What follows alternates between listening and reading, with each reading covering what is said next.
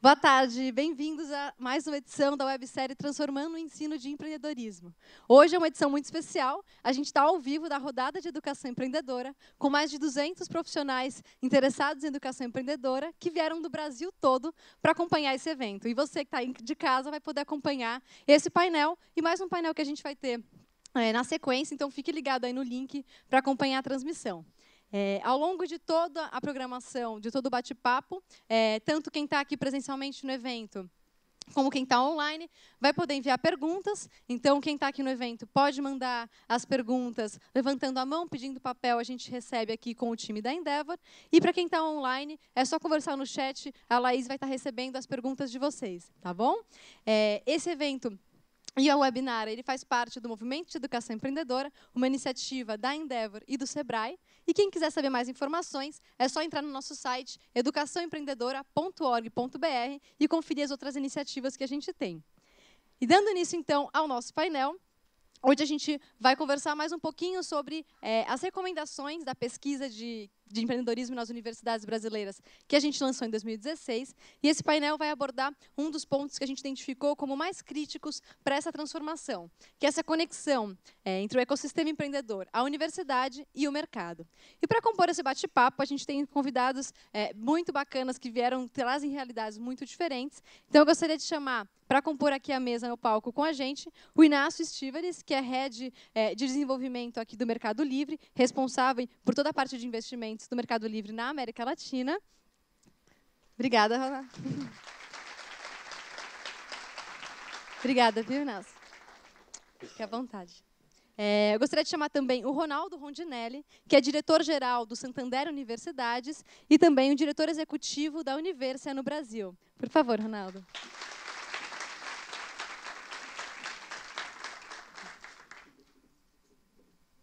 É, e o André Ferraz, que é empreendedor Endeavor, que começou é, a sua jornada na universidade. Ele é empreendedor da Inloco, é uma das 10 startups mais promissoras do mercado publicitário no Cannes, é, e iniciou a sua jornada na universidade. André, bem-vindo.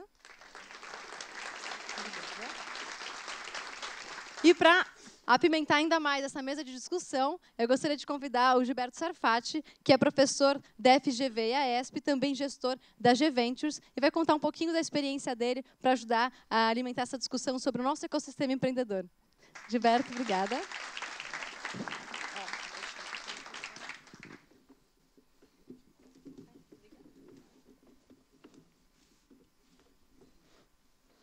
Bom, boa tarde. É, meu nome é Gilberto Sarfá, sou professor da FGV. Agradeço aí a Endeavor por é, organizar esse painel e por convidar a gente. É, eu vou fazer uma rodada rápida primeiro para a gente se conhecer. É, e eu queria que cada um aqui dos convidados nossos aqui, primeiro o Inácio aqui, primeiro muito obrigado também ao Mercado Livre por é, hospedar aqui o nosso evento. É, contasse um pouco sobre a sua relação com o ecossistema empreendedor. Inácio. Muito obrigado, muito obrigado a todos aqui pelo seu tempo e por vir aqui à nossa casa Mercado Livre. Um, com o Mercado Livre, nós temos uh, um ADN muito vinculado com o que é o empreendedorismo. Né?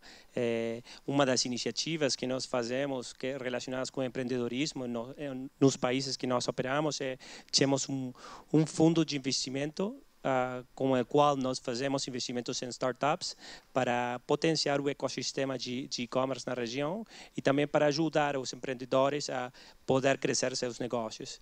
É, esse é um pouco o resumo de que nós fazemos com o nosso fundo. Uh, depois podemos ir mais em profundidade, se você quer. É, Ronaldo, conta um pouco aí da, da sua história em relação com o ecossistema. Boa tarde. Bom, é prazer estar aqui. Obrigado a todos.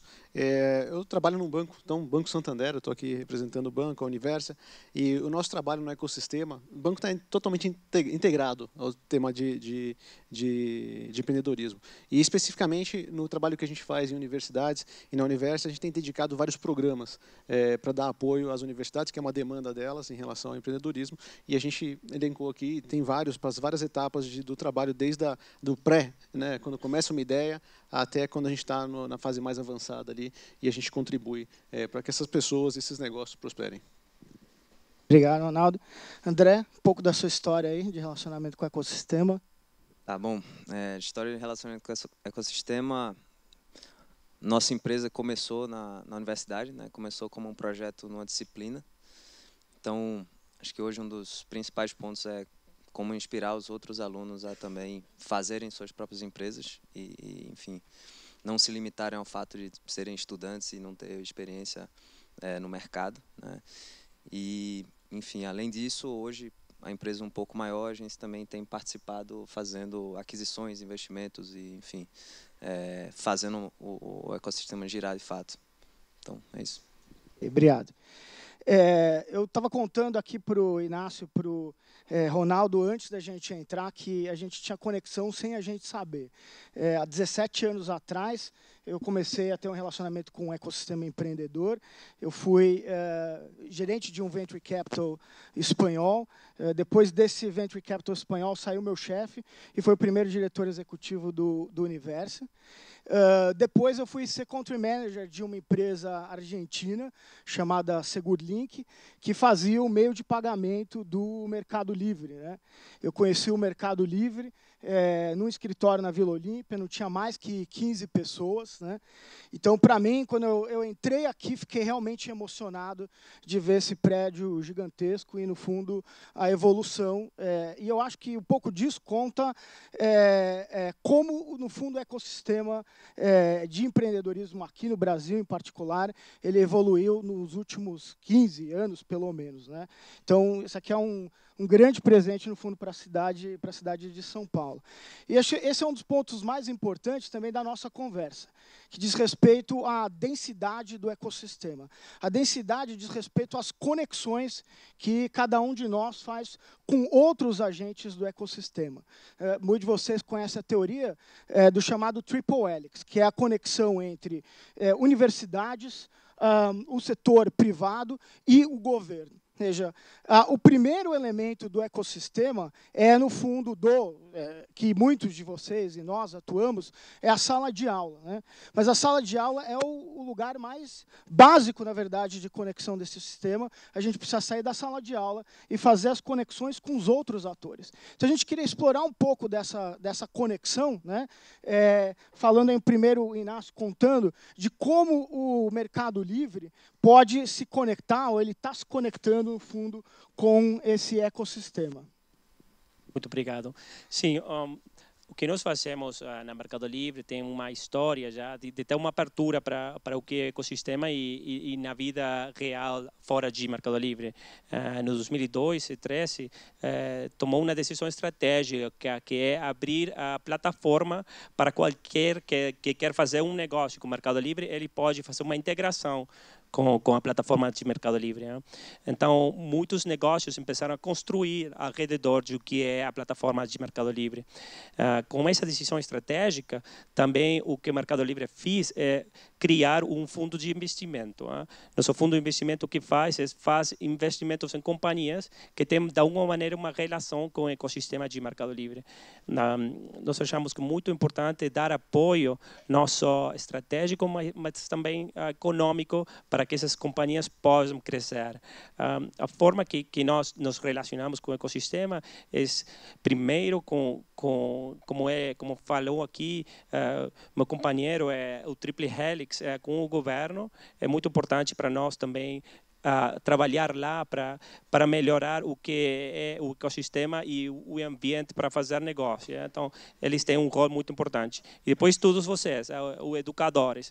Eu, acho que que como falava aqui na sua apresentação, acho que poder criar essa atitude, essa cultura de empreendedorismo vai trocar totalmente nos próximos anos, ou se nós vamos ter um ecossistema mais forte ou não. E o terceiro ponto é com, com as companhias. Hein? Então, nós com, com, com nosso fundo de mercado livre, que nós procuramos fazer é ter contatos com, eh, com as universidades, ter contatos com outros fundos, ter contatos com o governo. Então, tudo isso para quê? Para que haja uma maior densidade de gente que está fazendo empreendedorismo, se fortaleça o ecossistema e, ao final do dia, tenham as melhores e mais companhias que saiam de, de empreendedores que, que, vocês, que vocês formam. Né? Então, é um pouco o resumo. É, Ronaldo, agora conta um pouco como o Santander pode ou está se conectando com o ecossistema. conecta já há muitos anos é, com muitas iniciativas, muitas delas que a gente não carimbava exatamente como o ecossistema empreendedor. E, e o que a, a, grande reflexão ultimamente é que a gente está fazendo muito mais empreendedorismo do que a gente diz que, que faz. Né? Eu, aliás, estava feliz aqui na, no nosso ensaio inicial que eu descobri que o André, já lá anos atrás, em 2012, né, você comentou, é, como empreendedor, participou de um dos programas, na época chamado Santander Universidades, e lá dentro tinha uma das categorias do tema de empreendedorismo. É, esse ano a gente muda esse programa e até para dar um pouco mais de visão, eu acho que falar do tema de empreendedorismo, colocar a palavra, isso isso dá luz, né? Então a gente vai chamar esse ano, nós vamos lançar nas próximas semanas aqui, mas estou antecipando, é, vai chamar Santander Empreenda, ou seja, o tema já vai, ele já vem na, na base ali é, do nome desse programa. Mas o, o, fato é que a gente, é, como banco, a gente tem fundo é, de, de, apoio ao empreendedorismo, mas a gente tem várias iniciativas, a gente tem uma capacidade, imagina um, um banco grande consumindo produtos e serviços o tempo todo. Muitas vezes o empreendedor, ao se tornar um cliente, né, a, a, gente teve recentemente um programa chamado Radar, é, em que empresas finalistas, então agora vão poder, é, tivemos cinco finalistas, serão aceleradas aqui, ou, ou até acompanhadas com o próprio comitê executivo, e muitas vezes aquilo pode acontecer de uma parceria ou outra, mas às vezes até de, de fornecer um produto como um cliente, que é aquele primeiro grande passo que um, que um, que um empreendedor precisa. Então, a gente, o que, a gente vem imaginando aqui? Colocar vários programas e que a gente consegue contribuir nessas etapas. Né? Alguns lá no início, como uma, uma, uma ideia, que pode estar num programa de ideia, ele pode ter uma premiação, a gente tem bolsas de estudos, que é a forma como a gente apoia em, em universidades, né, em educação no, no mundo inteiro. A gente colocou bolsas agora de empreendedorismo. Né? Então, é, volta ao tema de chamar atenção. Quando você começa a sublinhar né, da, da, luz, aquilo ganha força. Então, as bolsas, a gente tem bolsas internacionais, nosso apoio à formação, coloca empreendedorismo. Programas, a gente colocou programa de empresas mais avançadas, aquelas das ideias. Um programa que eu chamo de empreendedorismo, que eu acho muito bonito, por exemplo, é o microcrédito. Nós somos dos bancos privados que mais tem operação de microcrédito no país, que é um empreendedorismo de necessidade ali. Né? Então, a gente inclusive um dos programas que a gente vai fazer é conectar nas universidades, né, os, os, os centros juniores, para apoiar esses, esses projetos que nascem. Então, minha visão é que como é que a gente se conecta? A gente se conecta de uma forma tradicional como banco, que o empreendedorismo vai precisar de produtos financeiros, vai precisar desenvolver, e, e ali as nossas agências, nossos, nossas lojas, estarem à disposição de apoiar os jovens ou quem tiver empreendedor, fazendo empreendedorismo. E nos programas que a gente faz, em cada uma dessas etapas, desde o jovem que tem uma ideia, a empresa que está nascendo, aquela que já está acelerando, é uma outra necessidade, e aquela que já está mais madura. Obrigado. É, você vem da Federal de Pernambuco, tem uma história bastante bacana de relação de mudança do espaço na própria cidade de Recife, com o Porto Digital. Muitos de nós aqui conhecemos essa iniciativa, mas que é interessante você contar da sua perspectiva de quem foi estudante, o que você sentiu falta é, quando você era estudante da Federal de Pernambuco. Bom, é, passando um pouco de contexto, né, a gente começou dentro de uma disciplina. Eu estava fazendo ciência da computação com, na época, meus colegas e hoje meus sócios. Né? É, e, e, essa disciplina que a gente participou, ela é um projeto no, no meio do curso de ciência da computação em que todo mundo tem que criar uma startup. Então, assim, todo mundo que passa pelo curso de ciência da computação lá na, na UFPE passa por essa experiência inicial de, de desenvolver uma startup. Então, assim, é, a, a gente é avaliado pelo produto que a gente desenvolve, que tem que estar usando, enfim, tecnologias que a gente aprendeu no curso, é, mas também em levar isso para o mercado e até, quem sabe, ter faturamento. Então, assim, não é simplesmente criar um, um produto qualquer, tem que ter um cliente ali do outro lado. Então, a gente é cobrado por isso nessa disciplina. Então, isso foi um, um, uma maneira forçada aí de fazer todo mundo passar por essa experiência, que eu acho que é muito boa, acho que é muito rico para todo mundo, até quem não quer, né? É, e, Obviamente, o que, o que faltou, né, e eu acho que é o que, que falta na maioria dos lugares, era a gente tinha esse apoio, mas muitas vezes esse apoio da própria universidade era, era muito a nível teórico. Né? Então, faltava um pouco mais de conexão com o mercado de fato, assim, ajudar a gente a, a conectar com possíveis clientes, com possíveis usuários, é, com investidores. Então, faltou essa, essa conexão, né, especialmente. Mas, assim, acho que só pelo fato da gente ter que passar por essa experiência já, já, já é um negócio muito rico é, e não acontece em muitos lugares. Então, eu, o que eu posso dizer aqui é que, assim, é, quem não conhece deveria conhecer né, como é que funciona essa disciplina em particular, que evoluiu muito. Então, quando a gente começou era só em computação. Hoje essa disciplina ela envolve, é, ela é aberta para todos os, todas as, as áreas da universidade. Né? Então tem pessoal de design, tem pessoal de administração, tem pessoal de, enfim, economia, turismo, qualquer outro curso pode fazer parte hoje. E, e, e aí com essa mistura você começa a ver também que os negócios eles estão começando a ser cada vez mais relevantes. Né? Na época que a gente começou, a grande maioria das startups que surgiam tentavam resolver problemas dos próprios alunos, ou seja, um aplicativo para achar a balada mais legal, um aplicativo para, enfim, fazer esse tipo de coisa, pagar a conta da balada também de novo, então era só o que todo mundo estava pensando. É, e hoje, quando você tem essa mistura das pessoas que estão vindo de outros cursos, as pessoas já têm problemas de fato das indústrias que elas estão estudando e a partir disso você desenvolve um, um negócio. Então, também foi, foi muito importante essa conexão. Legal, André. É, eu acho que o seu depoimento fala sobre a evolução do chamado ecossistema empreendedor que a própria universidade tem. Ou seja, as matérias de empreendedorismo, a gente tem o propósito de fomentar a chamada cultura empreendedora. É, eu fiz meu mestrado, morei muitos anos em Israel, sou israelense também. Em Israel, é, não tem matéria de empreendedorismo. E tem uma razão muito simples para não ter matéria de empreendedorismo, porque a cultura empreendedora já faz parte da sociedade. Aqui, cada um de nós tem a primeira tarefa de ajudar a criar uma cultura que aceite o empreendedor e veja que os alunos possam ter uma alternativa. Mas daí, e aí é o papo para continuar, é qual a evolução qual o próximo passo?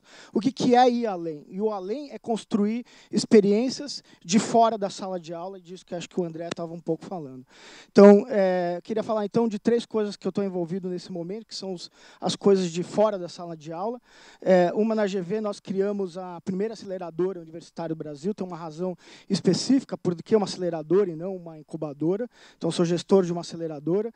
Um, aceleradora, e pelo fato de a gente ter um espaço, é, os alunos que não estão sendo acelerados passando a encontrar nesse espaço físico também um lugar para vir e conversar e fazer essas perguntas é, sobre empreendedorismo, que antes, na verdade, não existia. Um, o segundo elemento que a gente recebe dentro da aceleradora é a Liga de Empreendedorismo, uma iniciativa dos próprios estudantes. Então, esse faz parte, na verdade, do ecossistema. E a terceira coisa que está acontecendo também na GV, é, acabou de ser formado um grupo anjo entre os aluminais é, da GV, já tem 40 é, membros, já fizeram uma primeira é, rodada. Então, a gente está tendo uma, um aumento de complexidade do ecossistema empreendedor dentro da GV, com várias iniciativas que são fora de sala de aula e principalmente é importante colocar o alumni na rede de relacionamento. É, outra coisa que a gente está fazendo, e isso tem uma iniciativa para o ecossistema, mas também está voltado para a pesquisa. Há dois meses e meio a gente começou o mapeamento do ecossistema uh, empreendedor. É, é, o site é mapedimbrasil.com.br, Mapped com dois, dois P's. A gente não está reinventando é, a roda, é um crowd, é um crowdsourcing de mapeamento. É um crowdsourcing de mapeamento, é um mapeamento também agnóstico. O que, que significa isso? Significa que o que vocês veem nesse mapeamento é a mesma coisa que eu, eu não tenho informação privilegiada. É, e uh, o, o, mapeamento eh, já é o maior mapeamento aqui no Brasil, tem provavelmente o maior número de uh, venture capitals, aceleradoras, uh, de qualquer mapeamento que já foi feito no Brasil. É, e eu queria então convidar vocês para entrarem nesse mapeamento, colocar a instituição de vocês e convidar os empreendedores, as startups aí a entrarem também. A ambição, é, a gente tem que sempre sonhar é, grande. Uh, a gente já passou em dois meses o mapeamento da, da Holanda, que também é Mapedim Netherlands. É, e a ambição é ser o maior mapeamento do ecossistema empreendedor é, no mundo inteiro. Uh, e o benefício, na verdade, é para o ecossistema, é mostrar para todo mundo que nós, o que, que existe no ecossistema, onde está geograficamente, qual que é o impacto disso geograficamente na região, né? e é, também para o resto do mundo. O próprio caso do mapeamento em Israel ajudou a trazer as pessoas que ainda não estão muito presentes, na verdade, no nosso ecossistema, que são agentes de fora do Brasil, principalmente investidores de fora do Brasil. Então, eu queria usar esse gancho aqui é, do mapeamento, do Mapedim Brasil, é, para explorar um pouco mais de é, quais os principais obstáculos né, que é, vocês veem para o crescimento do nosso ecossistema empreendedor. Okay? Então, deixa eu começar aqui com, com o Ronaldo.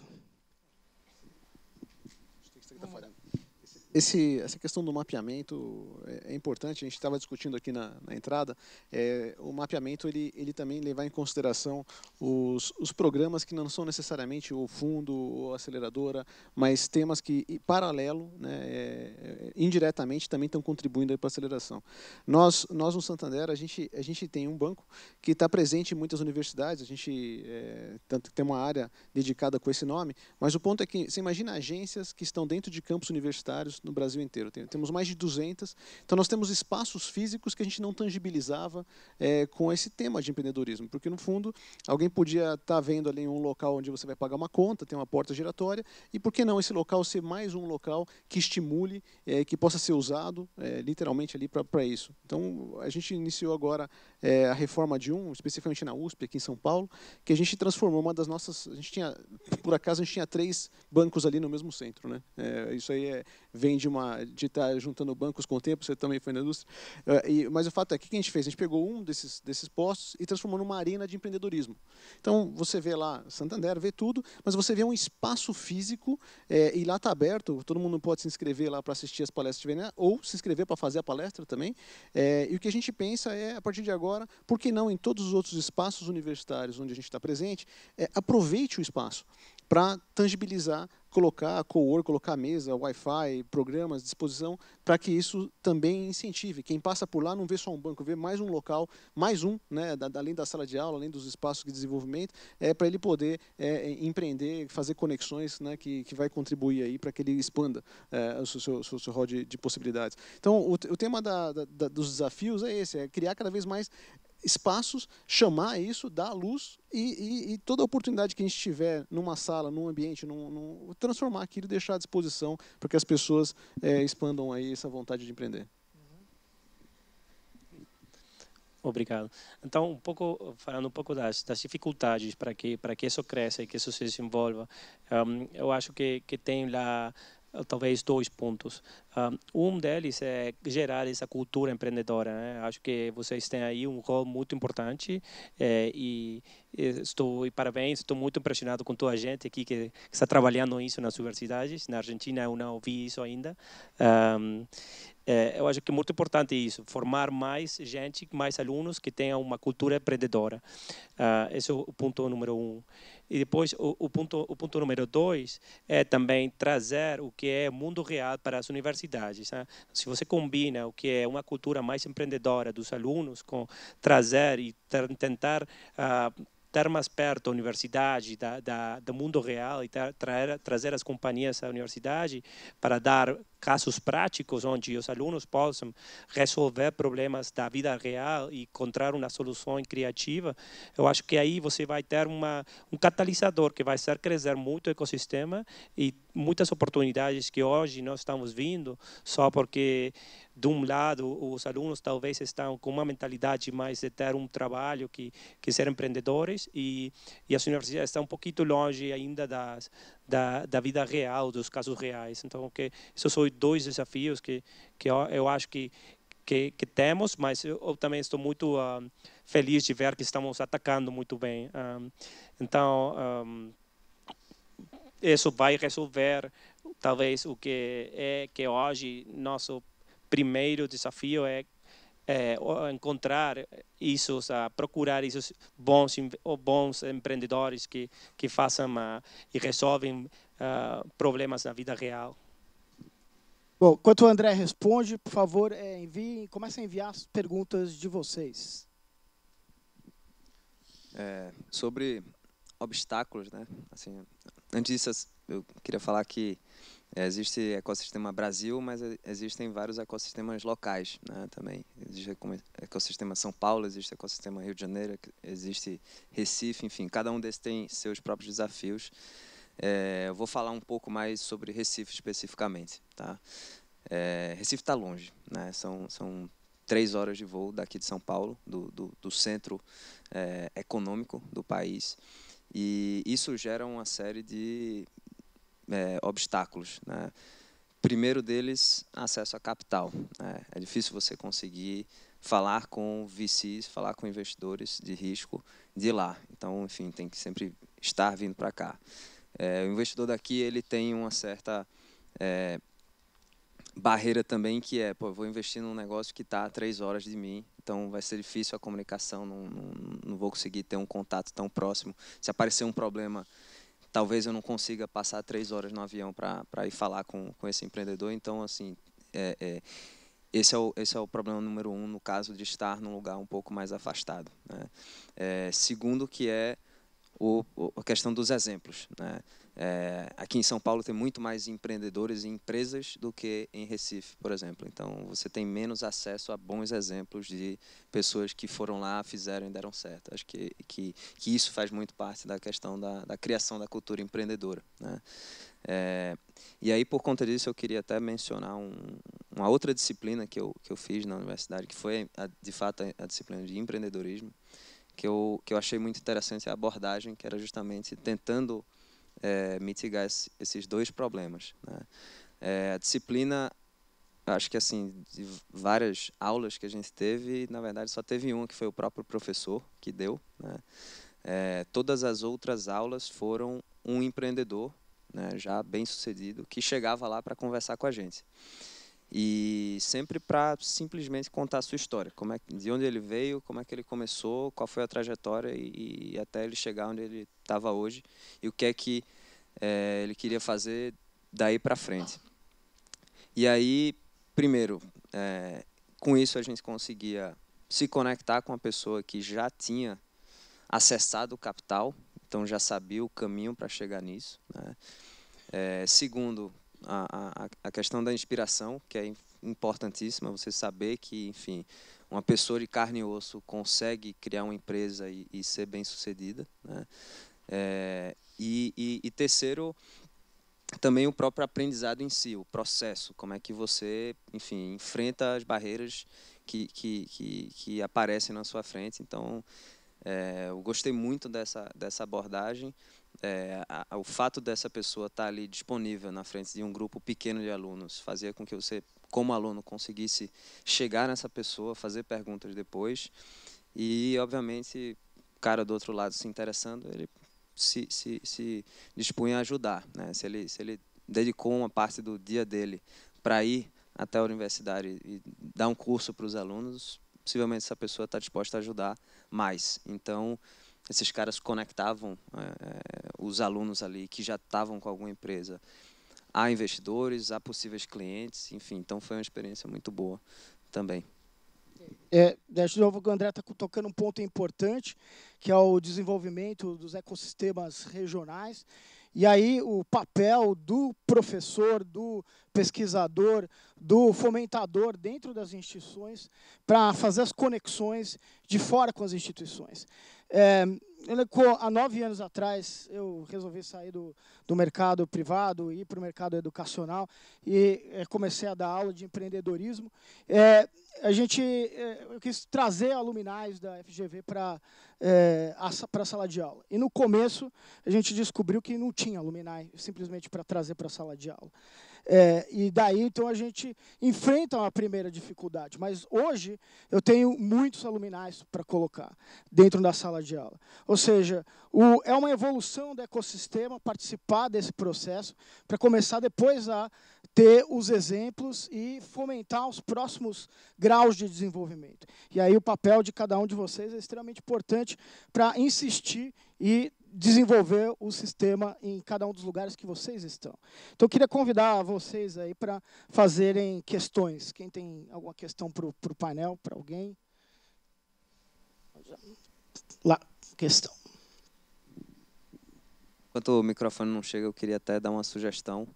É, Para quem não conhece, tem um curso muito bom de empreendedorismo lá de Stanford, ministrado pelo Reid Hoffman, que foi o fundador do LinkedIn, chamado Blitz Scaling.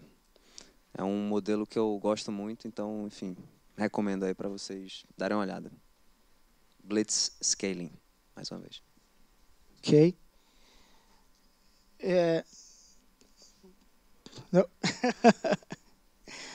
é...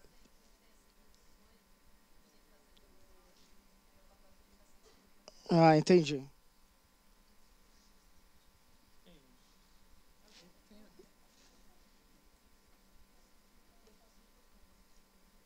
Tinha alguém aqui que tinha uma pergunta aqui. Posso, passa para ela enquanto não, não entra aqui no iPad a pergunta aqui.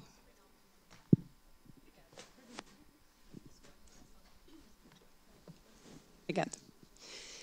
Uh, Gabriela Ferreira, da PUC do Rio Grande do Sul.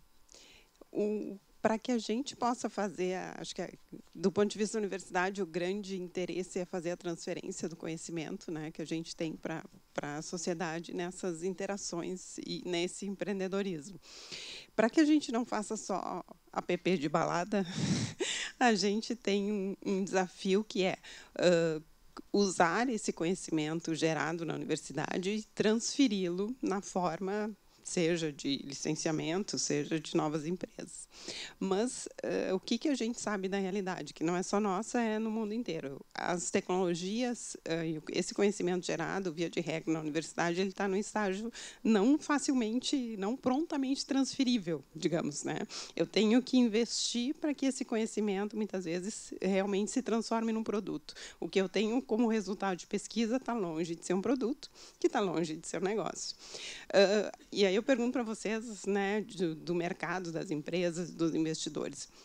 Como é que vocês percebem isso? Quanto o mercado está disposto a investir nesse conhecimento que está num estágio incipiente ainda para realmente transferi-lo? Obrigada. Quer pegar uma pergunta? Alguém?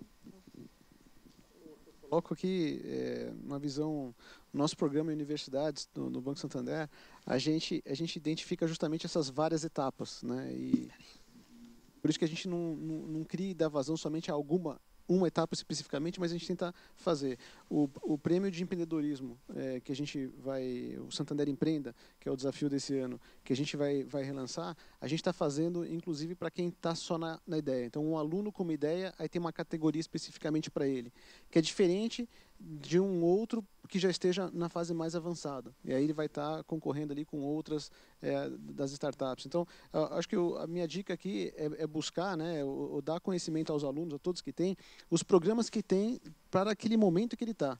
É, porque às vezes ele está só na ideia buscando um fundo para investir. Ele está longe, ele tem que cumprir algumas etapas para chegar lá.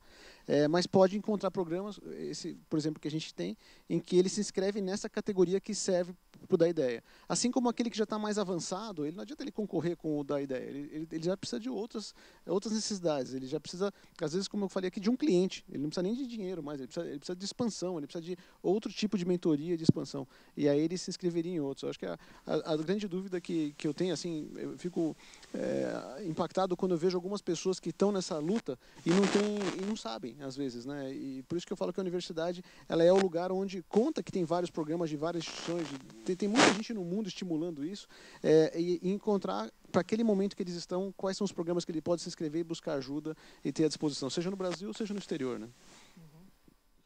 É, eu queria acrescentar de uma pesquisa que eu fiz, na verdade, não é uma pesquisa acadêmica, foi o governo há muitos anos atrás que tinha encomendado e a gente explorar algumas experiências.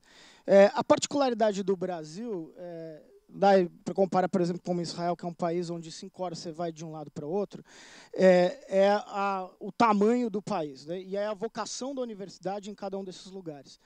É, de novo, eu sempre falo também que não existe nada para aprender, no fundo, nos Estados Unidos, apesar dos bons exemplos lá do MIT, porque uh, o, o, governo não tem uma, um, uma postura ativa, na verdade, para é, fomento de empreendedorismo, né? porque o empreendedorismo sempre existiu na história dos Estados Unidos. Então, experiências interessantes estão em outros países, como, por exemplo, o caso é, do Canadá. No Canadá, é, o equivalente ao CNPq do Canadá é ligado ao Ministério da Indústria. Então, acho que isso é uma relação muito importante. Então, ele não está submetido a uma coisa autônoma, como o Ministério da Ciência e Tecnologia, que não tem compromisso com o desenvolvimento, no final das contas. Então, os Ministérios de Ciência e Tecnologia foram eliminados em vários países, como o caso da Irlanda também. E aí, esse equivalente do CNPq criou centros, literalmente prédios, onde estão presentes a universidade, a iniciativa privada, e os investidores também. Então aí a gente fecha o ciclo. Só que o que é extremamente interessante é que cada um desses centros é especializado em alguma coisa. Por exemplo, ciência marinha. Por exemplo, nanotecnologia. E ao focar, a universidade focar em um tema específico, passa a ser mais claro para o um investidor, para quem está na comunidade, o que, que ela é especialista, o que, que ela é boa, é, portanto, faz parte de encontrar o que, que é competência regional tecnológica que aquela região pode, em particular, oferecer. E aí isso acaba fomentando, no fundo, um ecossistema onde relaciona, sim, uma pesquisa básica que se torna pesquisa aplicada, mas fomentada principalmente em um determinado tema.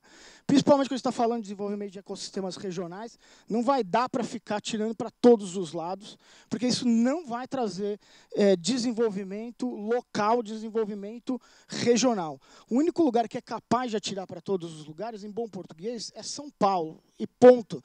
Nem Rio de Janeiro, nem Minas Gerais é capaz de fazer isso, Belo Horizonte, porque o ecossistema aqui é muito mais denso. Então, os outros lugares, tirando o exemplo do Canadá, tem que encontrar vocações é, regionais para ajudar a trazer o desenvolvimento daquilo que você está fazendo e o desenvolvimento do próprio fora da universidade. Né? É, uma pergunta aqui que estão fazendo também agora para a gente é Uh, como é que a gente pode mudar a realidade de pesquisa uh, de, das universidades, o ensino de, de, empreendedorismo, a disseminação? Será que uh, não deveria começar da base? Não deveria começar do ensino fundamental? acho que você pode pegar a pergunta, Ronaldo.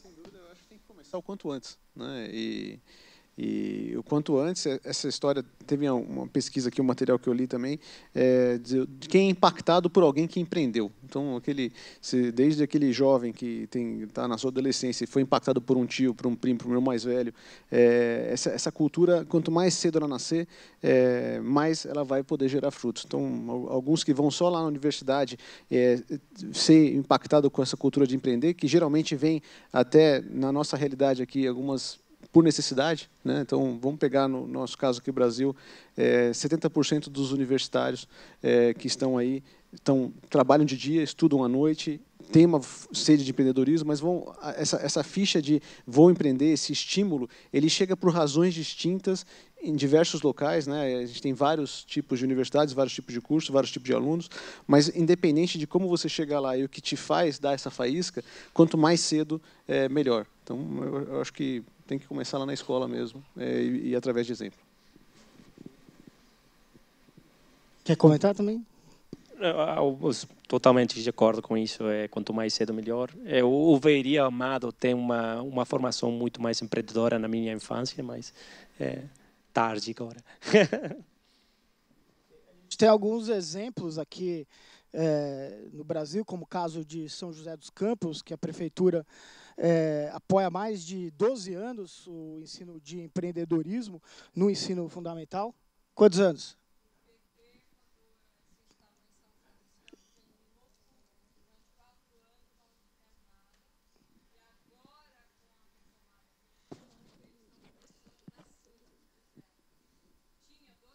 É, mas era uma experiência muito boa, que conhece muito bem. É, então, é uma pena que tenha acontecido, na verdade, isso. É, e, e, e, de vários outros países, como a Espanha ou a Irlanda, colocaram no ensino fundamental é, o empreendedorismo. Né? É, e isso é importante para ajudar, de novo, a fomentar a cultura empreendedora em locais onde não tem cultura empreendedora. Tem mais o tempo para uma pergunta lá? Fábio Fowler. Dá para ouvir? Unifei. Tá. Né?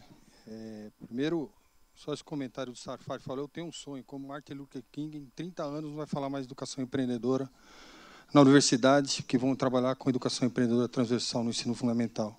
Baseado nisso, né, a gente sabe claramente que o brasileiro é criativo, e nas universidades eles são muito criativos, mas não conseguem transformar a criatividade em inovação.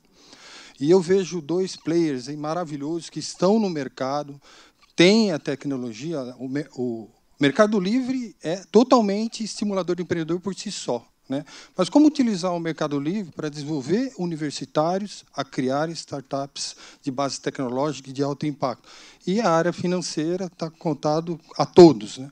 Então, nesse sentido, a minha pergunta é: vocês têm algum programa, algum projeto de smart money? Ou seja, além do dinheiro, como levar a mentoria, o coaching e os problemas na universidade para esses caras criativos transformem uma solução para esses problemas de vocês?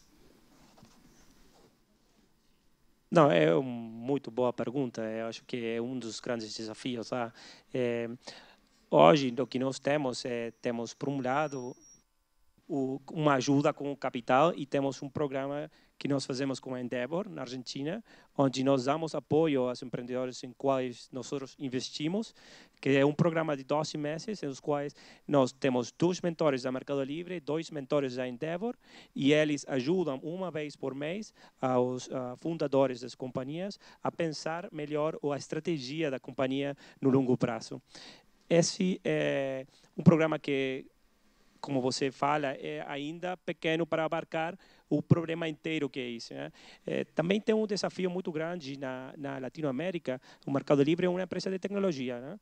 É, nós temos hoje aproximadamente uns mil desenvolvedores de tecnologia e é muito difícil conseguir mais. Né? Temos uma capacidade limitada e o nosso primeiro e mais grande uh, desafio como companhia é ter recursos de tecnologia para fazer mais desenvolvimentos. Nós faríamos muito mais desenvolvimentos se nós tivéssemos mais recursos. Então, um, eu sei que na Argentina é mais ativo o nosso nosso rol, mas o que nós tentamos fazer é trabalhar com o governo para ajudar as universidades a que eles tenham mais mais programas de tecnologia, a que a fomentar o uso da tecnologia eh, nas universidades e nas escolas. E eu acho que que sim, que que definitivamente é um desafio muito grande e temos que que pensar nisso mais holisticamente e, e, pensar uma solução mais grande para para poder chegar a mais universidades e ter um, um impacto mais grande. Sim. Pergunta é fantástica. Né? A gente a gente discute às vezes se a gente tem consistência na, se a gente conecta os nossos programas. Né? A gente fala, vou apoiar muito empreendedorismo. E se alguém que está abrindo aquela empresa é, chegar numa agência não conseguir um produto de pagamento, né, que é aquela coisa básica, a coisa não, não se conecta. A gente criou, no, Santander tem um, um programa chamado Avançar, tem até um portal que foi desenvolvido junto com a Universe, é, que lá tem vários cursos, várias mentorias ali online, é, que justamente ajudam esse, esse empresário que está iniciando, que está começando. Um deles que a gente também conectando as diversas atividades que a gente faz e dando consistência nisso, gente, uma das formas de apoio é a gente dá muita bolsa, né? então conhecidamente como uma forma de apoio à educação, ao desenvolvimento são bolsas. Então a gente criou no programa de bolsas, né? bolsa de empreendedorismo, que essa já fica na veia, empreendedorismo, e uma outra que são bolsas de estágio-emprego. E o que, que a gente faz na bolsa estágio-emprego? A gente busca alunos, né? a gente paga o estágio deles em pequenas empresas que estão se desenvolvendo. E com qual intenção? A gente também está ali orientando as empresas que é uma boa ideia ter um aluno de, de, de uma universidade com uma capacidade é, nova, inovação, e que a gente estimula isso. Quem sabe até esse negócio dando certo é bom para o aluno, ele pode ser efetivado, crescer, continuar crescendo, desenvolvendo junto com a empresa. Ou, no, no mínimo, também é bom para o aluno que já teve uma experiência profissional. Então, eu, eu acho que o tema é amplo e, e, e sim, é, a gente tem lá desde os produtos que a gente quer colocar à disposição, porque a gente não quer pôr produto à disposição de empresa que vai morrer, a gente quer colocar produtos à disposição de empresas que vão suceder, que vão vão prosperar. Então, a gente consegue lá, através até dos nossos agentes, o, o, exemplo claro talvez seja o microcrédito, que é aquele empreendedor de mais necessidade, com menos acessos mais restritos, e que esse agente ele é mais do que um vendedor de um produto, ele está lá apoiando o desenvolvimento do projeto daquele cliente que está nascendo com um pequeno projeto em alguma comunidade, alguma coisa. Então, é, eu acho que seriam os, os, os, portais ali que a gente coloca muita informação, mas volto a dizer, muita gente não sabe, aí fica um outro desafio. A gente tem o programa de bolsas, na Universo, só conectando até o tema do, do próprio ensino, a gente estimula, né, para que fique claro para aquele que está crescendo, é, que o caminho natural dele, depois que ele fizer o Enem, é, ele vai trabalhar para alguém ou ele vai empreender. Né? E, e para aquele que for trabalhar para alguém, por que não trabalhar para alguém que está empreendendo? E aí crescer junto. Então a gente tenta fechar esse ciclo, mas é um desafio, a gente tem constantemente ficar reconectando as diversas iniciativas que a gente tem no ecossistema. Bom, vamos chegando ao final desse painel, então eu queria agradecer a participação do Inácio, do Ronaldo e do André nas suas contribuições aí para a gente continuar construindo conexões com o ecossistema. Muito obrigado.